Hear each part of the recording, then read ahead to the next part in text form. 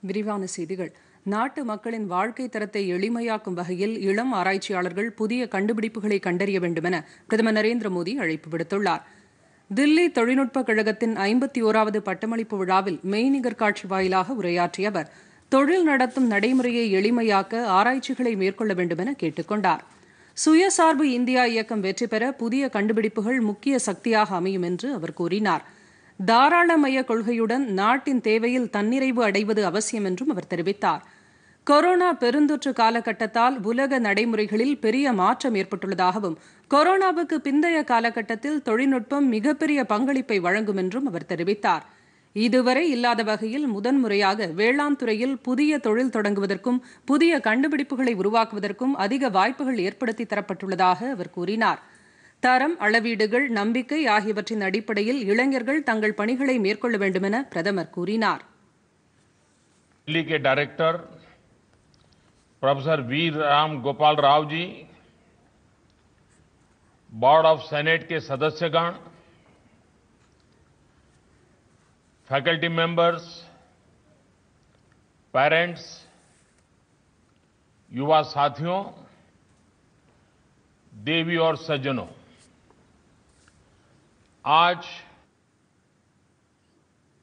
நாட்டில் பல்வேறு சட்ட திருத்தங்கள் மூலம் மறுசீரமைப்பு நடவடிக்கைகள் மேற்கொள்ளப்பட்டு வருவதாகவும் குறிப்பாக உலகிலேயே குறைந்த அளவு பெருநிறுவனங்கள் வரி இந்தியாவில் விதிக்கப்படுவதாகவும் பிரதமர் தெரிவித்தார். கடந்த நான்கு ஆண்டுகளில் நாட்டில் கண்டறியப்பட்ட புதிய கண்டுபிடிப்புகளின் எண்ணிக்கை நான்கு மடங்கு அதிகரித்துள்ளதாக அவர் கூறினார். இதேபோல் வர்த்தக முத்திரை பதிவுகளின் எண்ணிக்கை பொருளாதாரம் வேளாண்மை மருத்துவம் ஆகிய துறைகள் வளர்ச்சியை கண்டுள்ளதாகவும் அவர் தெரிவித்தார். தேசிய உட்கட்டமைப்பு தொடர்வாயிலாக ஒரு லட்சம் கோடி ரூபாய் முதலீட்டை மத்திய அரசு செய்துள்ளதால் நாடு முழுவதும் உட்கட்டமைப்பு மேம்படுத்தப்படும் என்று பிரதமர் கூறினார் सभी विद्यार्थी साथियों को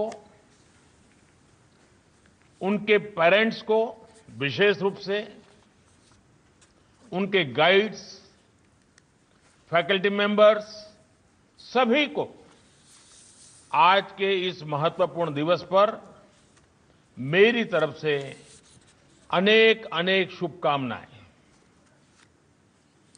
இன்றைய நிகழ்ச்சியில் பட்டம் பெற்ற அனைத்து மாணவர்களுக்கும் பிரதமர் வாழ்த்துக்களை தெரிவித்துக் கொண்டார் इक्यावनवा कॉन्वोकेशन है और इस वर्ष ये महान संस्थान अपनी डायमंड जुबिली भी मना रहा है आईआईटी दिल्ली ने इस दशक के लिए अपना विजन डॉक्यूमेंट भी तैयार किया है। मैं डायमंड जुबिली ईयर और इस दशक के आपके लक्ष्यों के लिए भी आपको अनेक अनेक शुभकामनाएँ देता हूँ और भारत सरकार की तरफ़ से पूर्ण सहयोग का विश्वास भी देता हूँ।